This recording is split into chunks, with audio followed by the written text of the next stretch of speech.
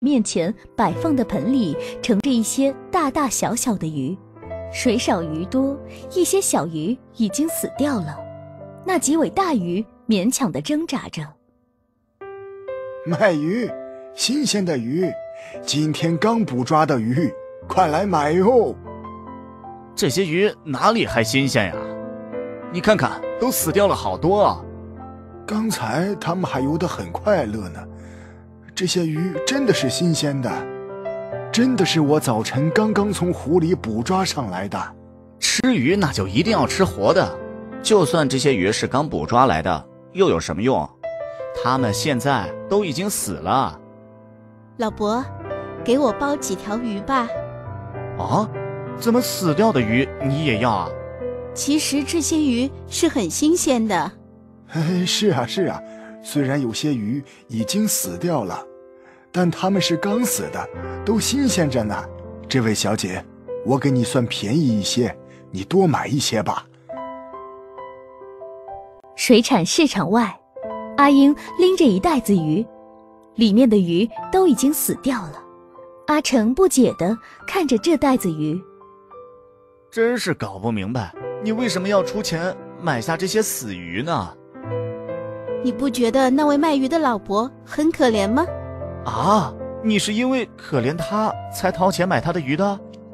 是的，他那么大年纪了，还要出来卖鱼，真的很可怜啊。我能做的也只有将他的鱼买下来，这也算是助人行善了。嗯，原来是这样啊，你的心肠可真好啊。其实。陈老伯的鱼确实很新鲜的，虽然他的年纪大了，但依旧每天清晨都会驾着船到湖里捕鱼。有一天，陈老伯拿着渔网朝湖边走去，准备去捕鱼。哎，陈大叔，这么早你又要去湖里捕鱼啊？是啊，早早去湖里抓鱼，我好早点去市场卖呀。陈大叔，你这么大岁数了还这么拼命，真是太辛苦了。唉，没有办法呀，一天不捕鱼就一天没有饭吃。等到哪一天我没办法捕鱼了，那我的命也就快结束了。两位邻居听后愣了一下，然后看着陈老伯一步步的走到了停泊在湖边的小船上。他驾着小船，朝着湖深处渐渐驶去。陈大叔一个人生活，可真是不容易啊！是啊，他也真是可怜。想想今年前，他们一家人过得多好啊！儿子捕鱼，他和老伴一起在市场上卖鱼。爸妈，你们看，我今天的收获可不少呢。儿子可真厉害呀，每天都能捕到这么多鱼。爸妈，赶快把这些鱼拿到市场里去卖吧。他们要是死掉了，可就不值钱了。对对，只有新鲜的活鱼才能卖上好价钱。说着，他和老伴将一桶桶的鱼搬到了三轮车上，然后朝着市场走去。路上。几位村民看到了陈老伯和老伴载着一三轮车的鱼。陈老伯，你又要去市场卖鱼吗？是啊，你看我儿子抓了多少鱼呀！今天卖掉这些鱼，又能赚不少钱呢。哎呀，陈老伯，你们怎么连这么小的鱼也捕抓啊？是啊，陈老伯，这些小鱼又不值钱，你要它们又有什么用啊？还不如直接放掉呢。虽然这些小鱼不值钱，但也是我儿子辛辛苦苦捕抓来的，怎么可能放掉呢？就是嘛，很多人喜欢吃油炸小鱼，这些小鱼正好可以炸来吃，很可口美味的。陈老伯，我们村子里捕鱼的人都有规矩的，那就是捕到小鱼就一定要放生。小鱼不捕，这个规矩不能破啊！是啊，所以村子里捕鱼的人，都会用大网眼的渔网来捕鱼，这样那些小鱼就可以顺利逃生。可是你儿子却用小网眼的渔网，这样一来，大大小小的鱼可都跑不了了。陈老伯，让你儿子以后放掉那些小鱼吧。村里的老人不是说过吗？坏了规矩，可是要遭报应的。那些老规矩，谁还讲究啊？遭报应这种话，连我这个岁数的人都不相信啦。你们怎么还信呢？好了好了，我们赶快去市场吧。要是这些鱼死掉了，可就卖不到好价钱了。对对，我们得赶快去水产市场。陈老伯他们一家人凭着捕鱼，这些年可是赚了不少钱呢。赚的钱多又有什么用？他们这是赚杀生钱啊！这钱赚的越多，就说明杀害的鱼就越多，这可不是件什么好事啊！陈老伯和他老伴每天都会带着儿子捕捉来的大大小小的鱼，出现在水产市场。学佛的张师姐看到那些小鱼后，心生怜悯：怎么你们连这么小的鱼都捕抓啊？是啊。你要吗？这些小鱼很便宜的，而且油炸后非常好吃，你可以买回家尝尝的。张姐，你不会要将这些鱼买下来放生吧？这些鱼实在太可怜了，我们得救救它们。张姐，我们今天为了放生那些鸟，已经花了不少钱了，现在我们手里的钱已经买不了这些鱼了。要不，我们就先买下这些小鱼吧。它们那么小，不应该这么早就丢掉生命的。对，我们就先救下这些小鱼吧。老伯，这些小鱼我们全买了，你能不能算我便宜一点呢？这些小鱼已经卖得很便宜了。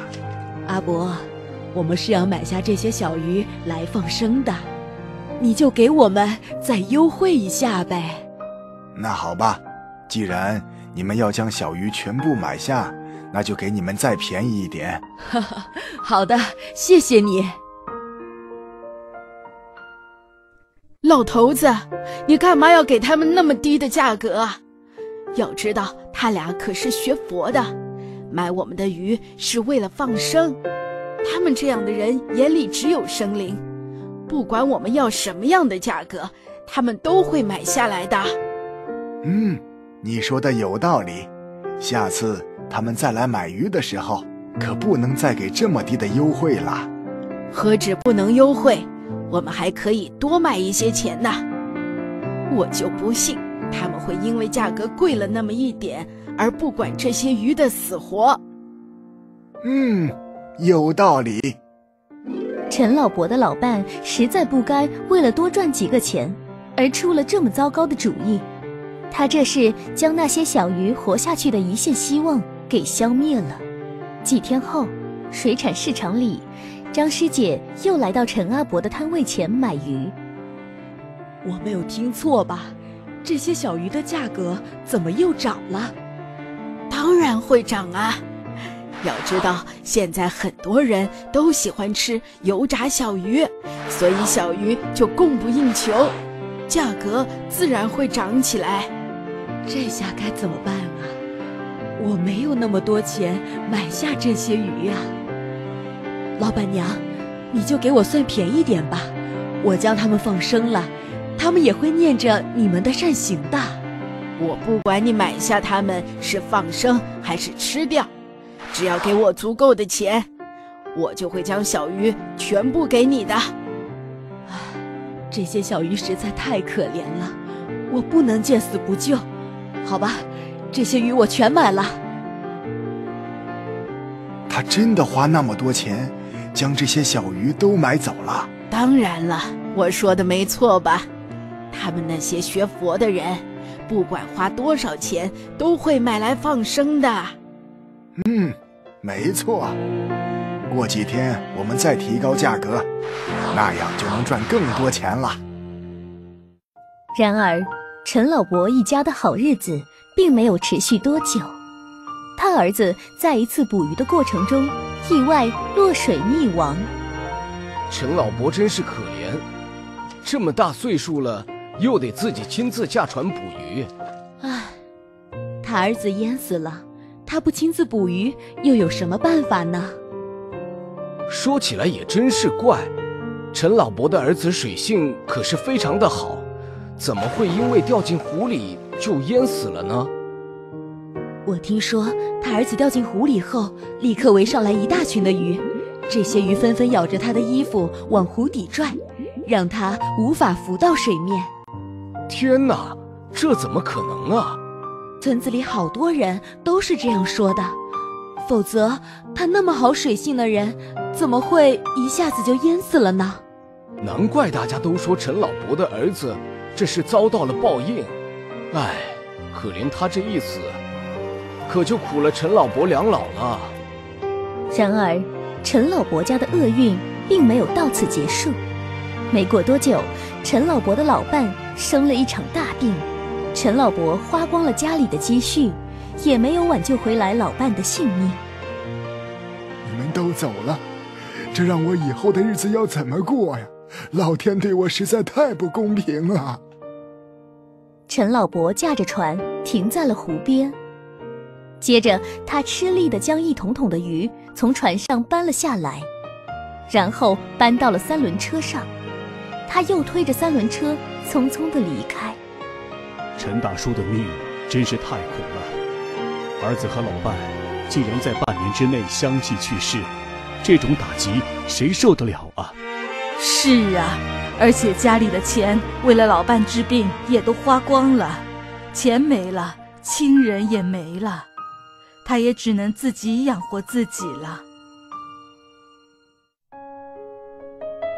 卖鱼，卖鱼啊！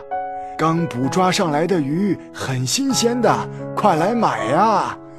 唉，上天为什么如此不公平啊？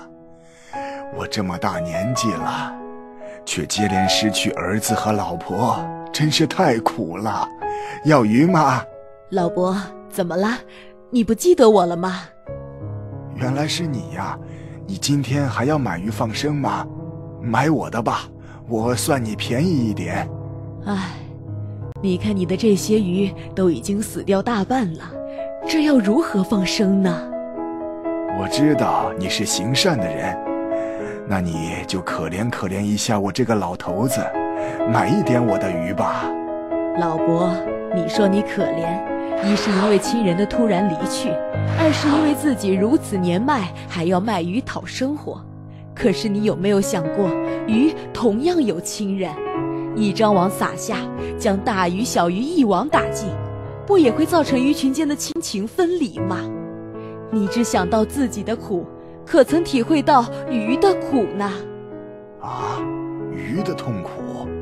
过去你们知道我买鱼是为了放生而特意提高价格，现在那些钱呢，又留在你身边了吗？啊，怎么会这样？难道？我真的是像村里人说的那样遭到了报应。没错，你们一家不断残杀生命，不断造业，却没有自觉。一旦果报出现，又开始不断叫苦，不断埋怨。虽然令人可怜，但却是自食恶果。唉，我错了，我知道错了，我知道的太晚了。知错能改，善莫大焉。老伯。你可以用你的亲身经历来规劝众人，广积善果，得到的那可是大福报啊！